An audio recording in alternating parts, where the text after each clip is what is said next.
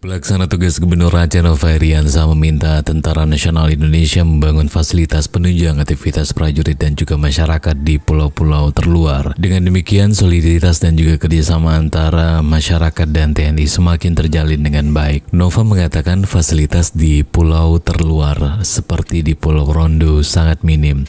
Dengan pembangunan infrastruktur paling tidak nelayan khususnya dari Sabang bisa merapat. Jika memungkinkan, bahkan pemerintah bisa membangun pemukiman warga sehingga hubungan baik TNI dan rakyat semakin baik. Lebih lanjut Nova juga mengatakan letak geografis Aceh sangat strategis dan sudah pasti sangat membutuhkan penjagaan dan juga pemantauan intensif agar tidak ada yang berani mengusik kedaulatan Indonesia.